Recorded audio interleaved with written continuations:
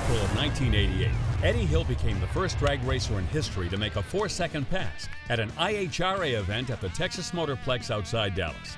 The NHRA would see its first four second top fuel run recorded six months later on Thursday, October 6, 1988, during top fuel qualifying at the NHRA Super Nationals at Houston Raceway Park when Gene Snow shot to a 4.997 second elapsed time, becoming the first NHRA top fuel racer to break the four second barrier. Snow would go on to finish 1988 with five of the 10 quickest runs of the season, and more importantly, a permanent place in the annals of NHRA performance history.